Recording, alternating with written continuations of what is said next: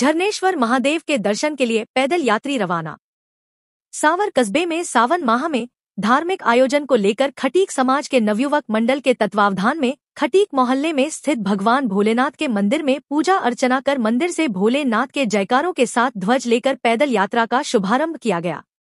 नवयुवक मंडल के तत्वावधान में गाजे बाजे के साथ केकड़ी रोड पर स्थित खारी नदी में स्थित झरनेश्वर महादेव मंदिर के लिए सैकड़ों की तादाद में भक्तों का सैलाब पैदल रवाना हुआ। कस्बे में जगह जगह पैदल यात्रियों का पुष्प वर्षा का स्वागत किया गया।